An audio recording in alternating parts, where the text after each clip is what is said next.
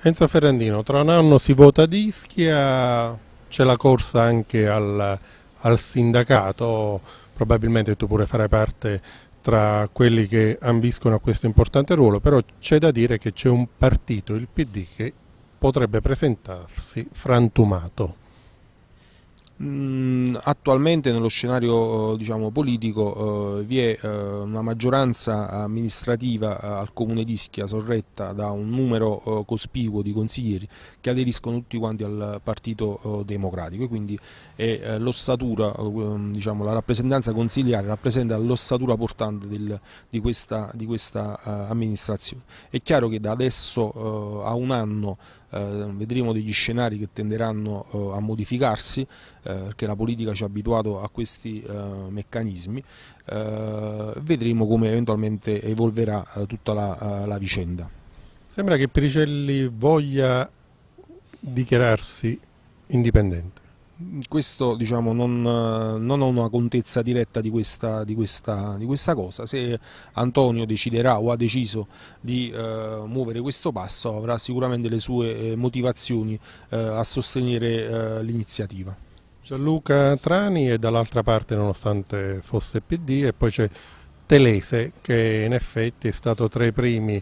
ad essere iscritto al partito che resta fuori. Qual è la posizione di queste persone anche verso le prossime elezioni secondo te? Eh, Dovresti eventualmente chiederlo a loro, eh, a queste persone che tu adesso hai eh, menzionato. Per adesso abbiamo diciamo, uno dei due, il Presidente del Consiglio, che riveste il ruolo istituzionale di Presidente del Consiglio perché a maggioranza l'attuale Partito Democratico lo sostenne all'interno del, del, Consiglio Comunale. È chiaro che è anomalo il suo atteggiamento che continua a conservare un ruolo istituzionale da un lato e dall'altro vorrebbe contestare quella che è l'azione eh, amministrativa. A mio avviso ben farebbe eh, a fare chiarezza eh, e a dirci chiaramente se eh, eventualmente eh, risulta eh, ancora essere del PD da un lato con la, la, maglia di Presidente del Consiglio o se eventualmente ha deciso di intraprendere definitivamente quella che è un'azione di opposizione legittima ma che per una questione di coerenza